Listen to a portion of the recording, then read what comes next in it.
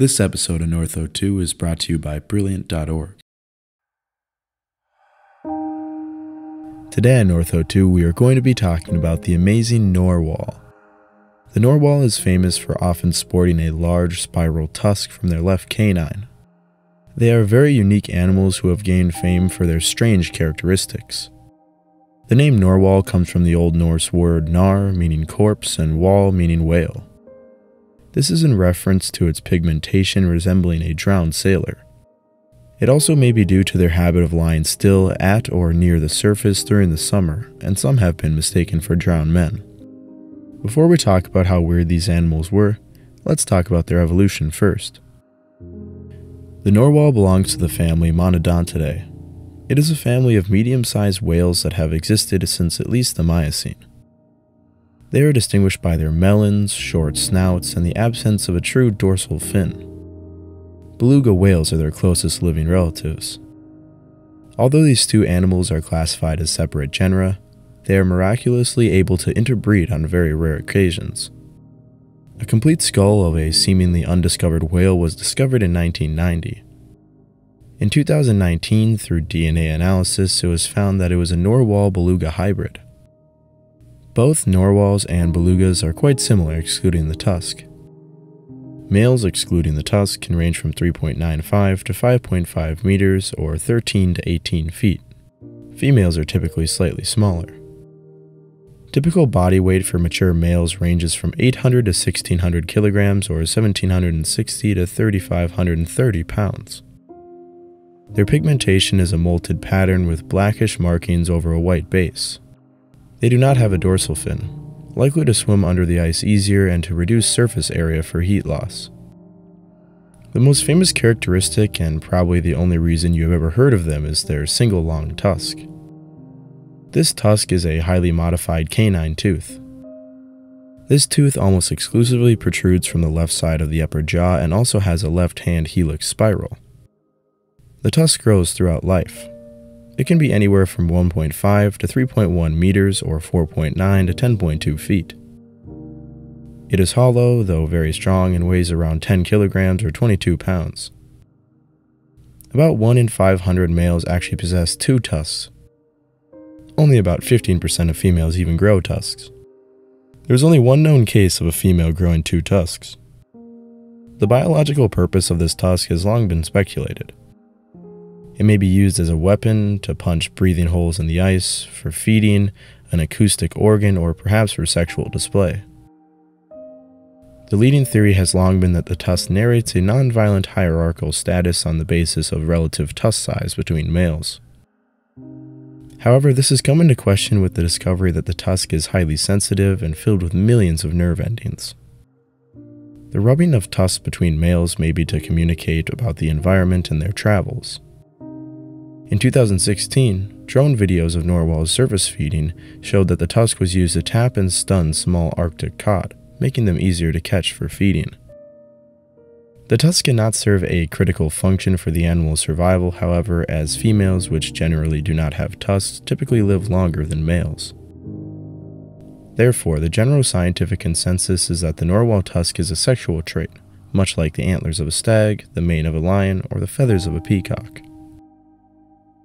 The tusks are the only teeth that are visible. All of their other teeth are vestigial and lodged well beneath tissue. This means that all their prey is sucked down their throat whole. It is pretty mysterious how they manage to thrive despite not even retaining teeth. All of the energy that would have went to these teeth go to their tusks. This is but another example of how strange evolution can be. Narwhals are found predominantly in the Atlantic and Russian areas of the Arctic Ocean. Most of the world's narwhals are concentrated in the fjords and inlets of northern Canada and western Greenland. Narwhals normally congregate in groups of about 5 to 10 and sometimes up to 20 individuals outside the summer. In the summer, several groups come together, forming larger aggregations that can contain 500 to over 1,000 individuals. Narwhals seasonally migrate to preferred ice free summer grounds, in the winter, they move offshore into deep water under thick packed ice. They surface to breathe in narrow fissures in the ice. Unfortunately, if they're not able to find access to air, many actually drown in the winter. Narwhals have a relatively restricted and specialized diet. Their prey is predominantly composed of green halibut, polar and arctic cod, cuttlefish, shrimp, and armhook squid. Additional items found in the stomachs have included wolffish, capelin, skate eggs, and sometimes even rocks, accidentally ingested when the whales feed near the bottom.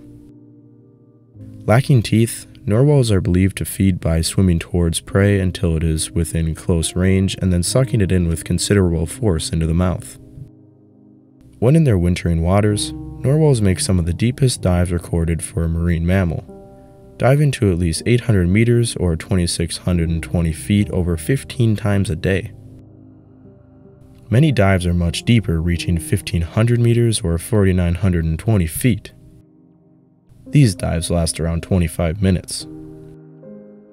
Narwhals are able to use sounds to navigate, communicate, and hunt for food. Narwhals primarily vocalize through clicks, whistles, and knocks, created by air movement between chambers near the blowhole. These sounds are reflected off the soap in front of the skull and focused by the animal's melon. Narwhals have a prominent melon capable of many noises. Echolocation clicks are primarily produced for prey detection and for locating obstacles at short distances. It is also possible that individual bangs are capable of disorienting or incapacitating prey, making them easier to hunt, but this has not been verified. They also emit tonal signals such as whistles and pulsed calls that are believed to have a communication function. The calls recorded from the same herd are more similar than the calls from different herds, suggesting the possibility of group or individual specific calls in narwhals. Narwhals mate in April or May when they are under the offshore packed ice.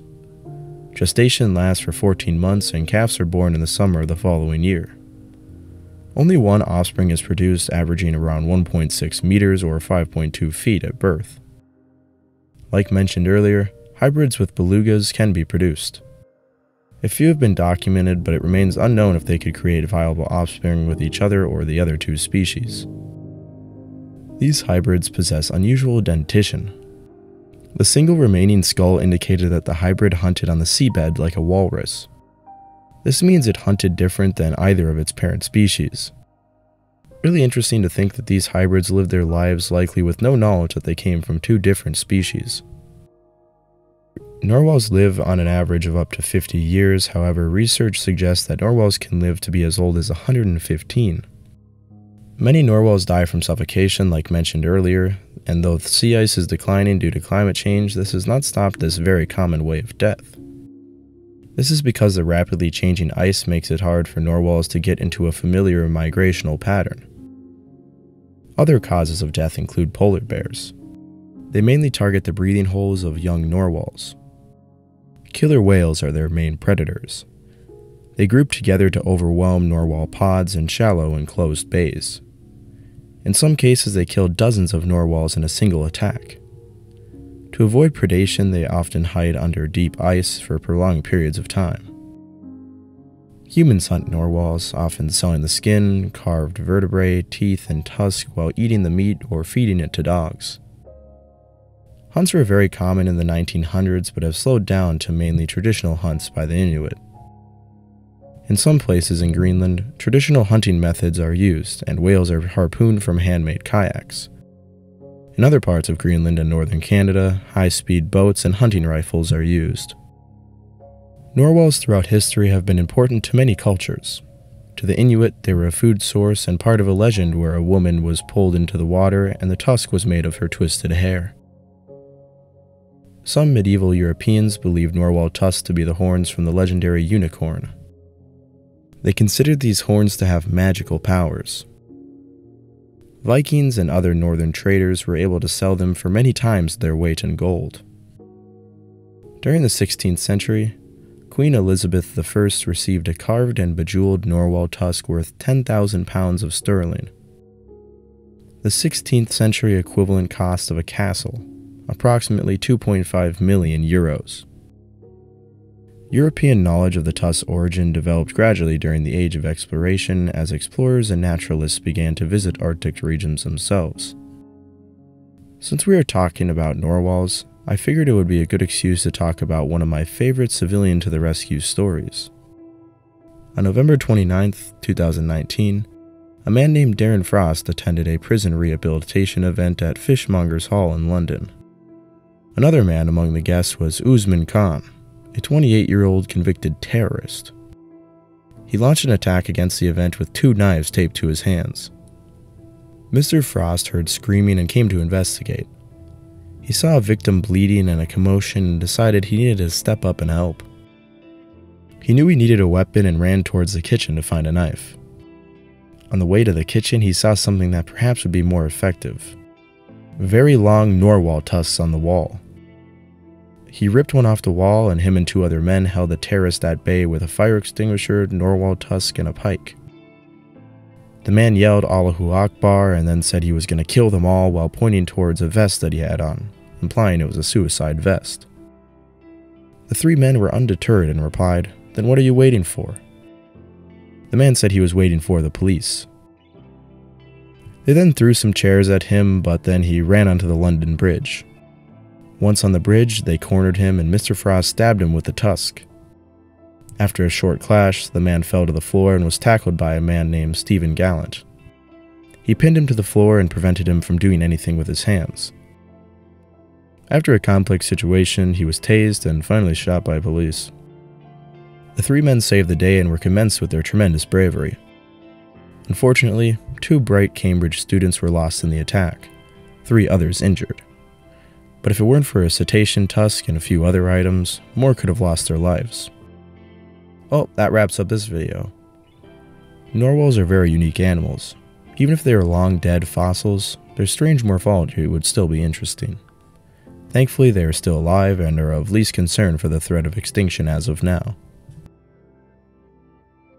My goal on this channel has long been to educate the public about the world we live in. I often do this by talking about prehistory, giving you a good perspective. But a facet that I often leave out, and perhaps more importantly, is the laws that govern our universe. In order to get a much more firm grasp about our world, check out today's sponsor, Brilliant. Brilliant is a problem solving app and website with a hands on approach. Take this lesson on fractions, for example. You might remember the rules about operations on fractions from school, but sometimes it's hard to visualize what's actually going on. This lesson helps you do just that. It's just one of over 60 interactive courses in math, science, and computer science. These courses can help you with school by giving you a solid understanding of various mathematical and scientific concepts. I think more importantly, they allow you to see the world as it really is a realm governed by various unseen physical laws. Classical mechanics, astrophysics, and special relativity are all things I am going to learn about. I am sure you too would enjoy expanding your knowledge on some of the topics they have courses on. To support the channel and further your understanding of these complex topics, go to brilliant.org forward slash north02 to sign up for free. The first 200 people to sign up will get 20% off their subscription. Thanks for watching. Make sure to like and subscribe, it really helps out the channel. Check out my Instagram and comment some video ideas down below. I make videos about history of humans, ancient animals, and the occasional full-length documentary. If that sounds interesting, check out the over 100 videos I have made. Well, I'll see you on the next episode of North 02. See ya.